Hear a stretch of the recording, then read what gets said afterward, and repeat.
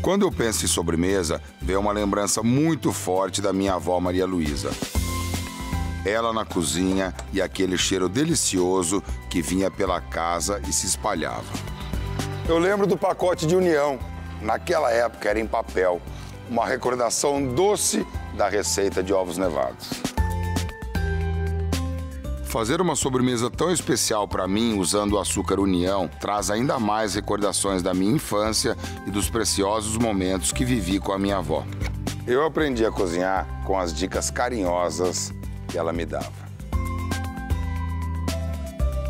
Com essa doce mulher, eu descobri o amor pela gastronomia e isso transformou a minha vida.